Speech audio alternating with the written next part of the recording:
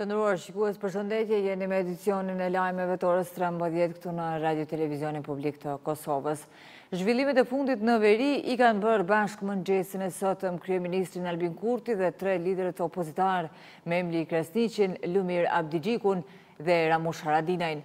Në një konferencë për medie, Kurti tha se takimi me krerët e opozitës ka qenë për t'i njoftuar lidhur me situatën e sigurisë. Ai tha se koordinimi me vendet e Quintit, NATO-n, KFOR-in, SHBA-n dhe EULEX-in është rritur ditëve të fundit për shkak të situatës së krijuar në veri.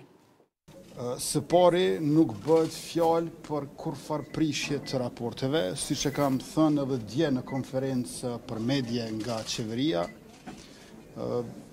Koordinimi, komunikimi, kontaktet me Quintin, Bashkimin Evropian, Shtetet e Bashkuara të Amerikës, NATO-n, KFOR-in, EULEX-in janë të vazhdueshme, ndodhin nga disa herë në ditë, Andaj nuk është e vërtetë që ka kurrfarë cenimi të raporteve, përkundrazi ka dendësi të komunikimit e të bashkërendimit.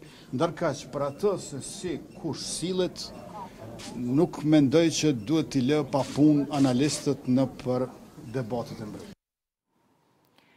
Edhe dy liderët e partive opozitare, Memli Krasniqi i PDK-së dhe Lumir Abdixhiku i LDK-së, janë deklaruar pas takimit me kryeministrin Albin Kurti, ndërkaq kreu i Aleancës për Ardhmërinë e Kosovës, Ramush Haradinaj ka braktisur takimin.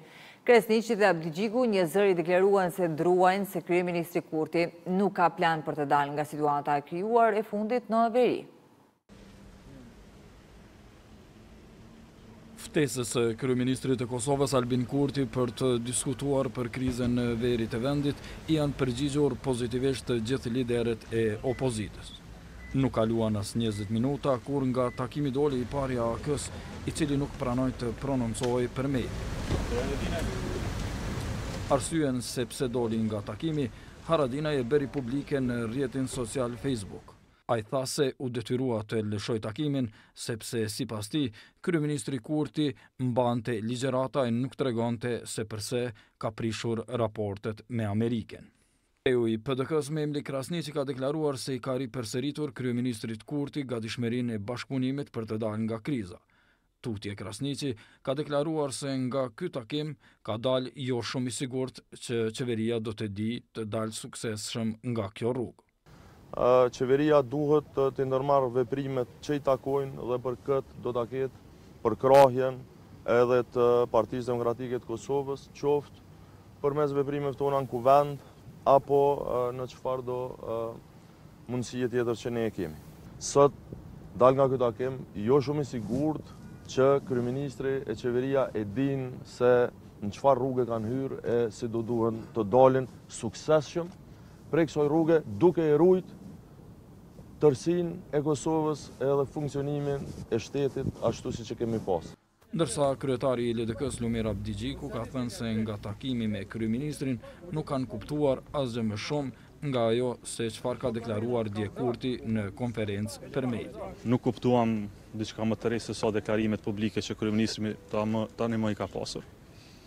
edhe nuk pamë ndonjë plan konkret për zgjidhjen e çështjes së re të krijuar në vakumin institucional gjyqësor e juridik në veri të vendit siç edhe nuk pamë ndonjë lëvizje ose gatishmëri për koordinim të plotë me aleatët tanë ndërkombëtarë. Pra për Lidhjen Demokratike të Kosovës, ne besojmë se koordinimi i ngushtë me Departamentin Amerikan të Shtetit, me institucionet e sigurisë amerikane, me aleatët tonë në Washington e në Bruksel është zgjidhja e vetme adekuate në situatën e tanishme që është Kosova.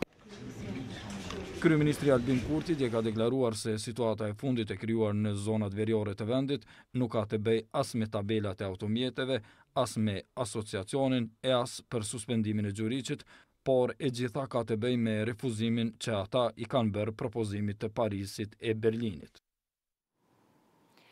Ish-ambasadori amerikan në Prishtinë, Greg Delawie, në një intervistë për Zërin e Amerikës tha se thelbi i tensioneve mes Kosovës dhe Serbisë nuk janë targat, por refuzimi i Serbisë për të pranuar pavarësinë dhe sovranitetin e Kosovës që njëzet e pesë vjet. Sa i përket planit franko-gjerman, Delawie ka deklaruar se nuk është i njohur me detajet e këtij plani për dialogun ndërmjet Kosovës dhe Serbisë, por shtoi se ka besim te nismëtarët. Për situatën në veri kanë diskutuar edhe deputetët e Kuvendit gjatë seancës së sotme të jashtëzakonshme. Ndërkohë, ata kanë debatuar për vendimin e qeverisë për zgjatjen e masave emergjente për furnizimin me energji. Ministrja e Ekonomisë Artane Rizvanolli, në seancën e Kuvendit, bëri arsyetimin për shqyrtimin e vendimit të Qeverisë për zgjatjen e këtyre masave, derisa deputetët opozitarë e kundërshtuan. Pas debatit që u shoqërua me kundërshtime të opozitës, deputetët votuan për zgjatjen e masave emergjente me gjashtëdhjetë e pesë vota pro, derisa opozita nuk mori pjesë në procesin e votimit. Aktualisht ne dy blloqet të A-së dhe dy blloqet të Termocentralit Kosova B i kemi të gatshme dhe kanë kaluar nëpër remontet kapitale. Megjithatë, situata në furnizim me energji elektrike do të vazhdojë të mbetet e ndjeshme ndaj krizës së energjisë në Evropë. Fatkeqësisht, po keqpërdoret ky nen i këtij ligji duke vazhduar në pa kufi shpallja e masave emergjente. Gjashtë herë radhazi, gjashtë herë shmangie procedurale, gjashtë herë e, asnjë raport ministria zyrtarisht dhe në procedurë normale nuk ia sjell këtij Kuvendi dhe qytetarëve të vendit me ditë cilat janë efektet e masave emergjente, cilat janë pasojat eventuale, cilat janë sukseset dhe rezultatet, Por ne po vazhdojmë fatkeqësisht këtë telekomedi dhe po humbim shumë kohë pothuajse çdo muaj me të njëjtën retorikë, me të njëjtin raport, me të njëjtën arsyeshmëri dhe me të njëjtën qasje, procedurë e shpejtë, shmangie e kështu me radhë. Është hera e gjashtë që e njëjta, i njëjti arsyetim po vije për shtimin e masave emergjente dhe këto masa absolutisht nuk po bëjnë zgjidhje për qytetarët e Republikës tonë. Çka po ndryshon Situata me energji elektrike me këto masa të panevojshme emergjente. Cili është plani juaj si qeveri, kur ju vetë keni deklaruar se do të keni një dimër me reduktime të mëdha? A keni bërë kontratë për blerjen e rrymës sikurse vendet tjera të rajonit? Ne jemi kundër masave të emergjente, rryma pritet të shtrenjtohet. Dimrin e keni paralajmëruar se do të jetë shumë i vështirë për qytetarët, inflacioni në rritje, paga jo, Projektligji për pagat nuk erdhi ende, keq me gjitha sindikatat, shëndetësinë e keni lënë pa ministër dhe mbi të gjitha, me këtë kërkesë ju doni me legjitimu edhe energjinë dhe me legjitimu që do të ketë rritje të çmimit të energjisë elektrike dhe qytetarëve do t'ju pamundësohet jeta dhe do të bëhet jetë e papërballueshme. Si deputetë nuk jemi seriozë. Si deputetë nuk jemi tu e trajtu gjendjen që është sot shumë e jashtëzakonshme në vend tu e trajtu me asnjë seriozitet. Për ne si grup parlamentar gjendje e jashtëzakonshme dhe nevoja për masa emergjente, urgjente, është me u marrë për sigurinë në vend. Për situatën që është kriju në veri të Kosovës, Po ju bëj pyetje ju deputetë të Vetëvendosjes, a është dashtë kryeministri i Kosovës sot me ardhë me na tregu se si është situata në veriun e Kosovës? A është dashtë kryeministri sot me ardhë me raportu para këtij kuvendi? Këto 40 nënshkrime është dashtë të jenë për atje, jo për këtu. Partia Socialdemokrate përmes një aksioni simbolik ka kritikuar qeverinë e Kosovës për zhvillimet e fundit në veri. Ata me ngjyrë të zezë kanë ngjyrosur dritaret e ndërtesës së qeverisë që sipas tyre tregon mbylljen karshi qytetarëve. Kryetari i PSD-së Dardan Molliqaj tha se kryeministri Kurti i ka vendosur në terr informativ të gjithë qytetarët për zhvillimet në veri dhe për propozimin franko-gjerman. Grupi punues i Këshillit Evropian të BE-së mblidhet në Bruksel për të diskutuar çështjen e heqjes së regjimit të vizave për Kosovën. Pas një muaji nga mbledhja e fundit, grupi punues për vizat i Këshillit Evropian rikthehet në një mbledhje dyditore që mbahet nesër dhe pasnesër. Çështja e liberalizimit të vizave për Kosovën ndodhet në pikën 3 të rendit të ditës së grupit punues.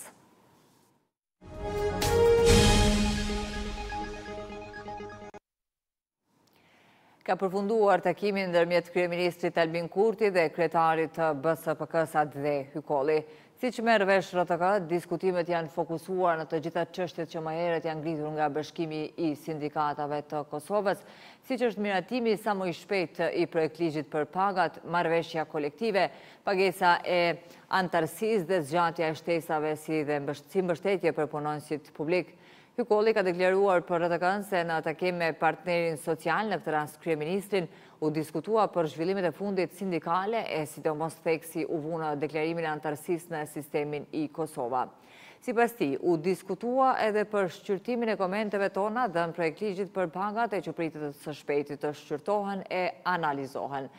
Besojmë fort se ky proces do të kryhet së shpejti, deklaroi kreu i BSPK-së.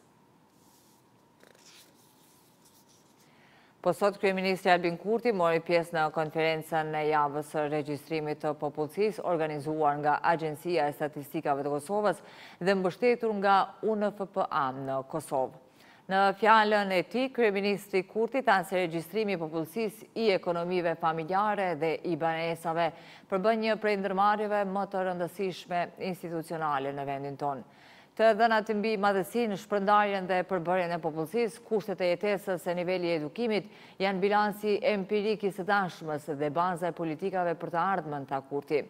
Sipas tij, të dhënat mbi regjistrimin na ndihmojnë të sigurojmë nivel më të lartë të transparencës dhe të llogaridhënies dhe janë pikë referuese për një planifikim afatgjatë dhe parashikime të zhvillimeve të rëndësishme socio-ekonomike. Janë liruar nga akuza katër ish-ministrat Mimoza Kusari-Lila, Nenad Rashiq, Besim Beqaj dhe Dardan Gashi, si dhe Fllanza Hoxha e Arben Gjuka të cilët akuzoheshin për korrupsion në rastin e njohur si afera e hidrocentraleve.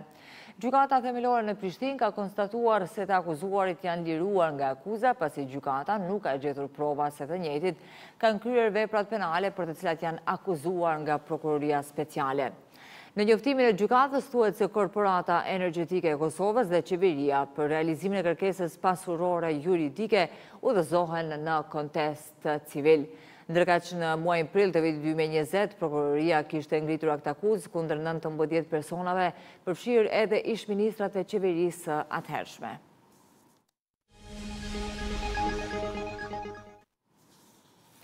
Miliona Amerikanë do të votojnë në zgjedhjet afatmesme të martën, ku balanca e pushtetit në Kongres është në rrezik.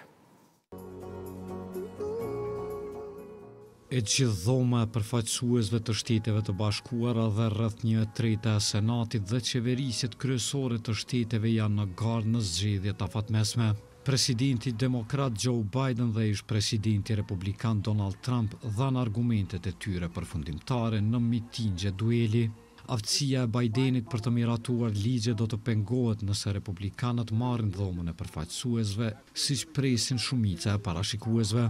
Demokratët aktualisht kontrollojnë Shtëpinë e Bardhë dhe me një diferencë të vogël dy dhomat e Kongresit. Në Shtetet e Bashkuara, partia në pushtet zakonisht humb mesatarisht rreth njëzet mandate në zgjedhjet afatmesme, të cilat mbahen në mes të katër viteve në detyrë të presidentit. Ndërsa vetë presidenti Biden ka edhe dy vite mandat, kurse mandatet e ndërmjetme shpesh shihen si një referendum mbi udhëheqjen e një presidenti.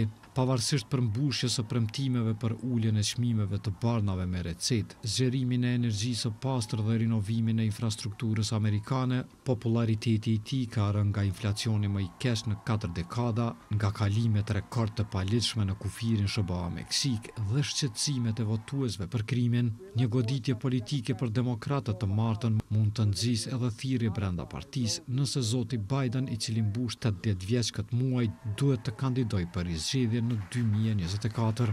Ai shkoi në Maryland të hënën mbrëma për të bërë fushatë për Wes Moore, që pritet të bëjë histori si guvernatori i tretë me ngjyrë i zgjedhur ndonjëherë në Shtetet e Bashkuara. Sipas një raporti nga CBS News, më shumë se gjysma e kandidatëve republikanë në mandatin e mesëm kanë ngritur dyshime për integritetin e zgjedhjeve të Shtëpisë së Bardhë të vitit dy mijë e njëzet, duke i bërë jehonë pretendimeve të pabaza të Trumpit për mashtrim. Trump kaloi në prag të ditës së zgjedhjeve duke mbajtur një tubim përfundimtar në Ohio së bashku me kandidatin republikan të Senatit, JD Vance. Ish-presidenti, i cili ka paralajmëruar për rikthim në Shtëpinë e Bardhë më dy mijë e njëzet e katër, i tha turmës nëse ju mbështesni rënien e Amerikës, atëherë duhet absolutisht të votoni për të majtën radikale apo njerëzit e çmendur. Vëzhguesit jopartiakë të zgjedhjeve projektojnë se republikanët do të marrin afërsisht pesëmbëdhjetë deri në njëzet vende më shumë në Dhomën e Përfaqësuesve me katërqind e tridhjetë e pesë vende, por beteja për Dhomën e Sipërme të Kongresit mund të shkojë në të dyja anët, sipas shumicës së parashikimeve politike, ku priten gara të ashpra në Pensilvani, Xhorxhia, Nevada dhe Arizona. Më shumë se dyzet e tre pikë pesë milionë vota të parakohshme janë hedhur tashmë nga votuesit amerikanë, por mund të kalojnë ditë ose javë përpara se rezultati i mandatit të jetë i qartë, nëse garat janë afër, pasi disa shtete lejojnë që fletëvotimet të vendosen në ditën e zgjedhjeve dhe mund të ketë rinumërime.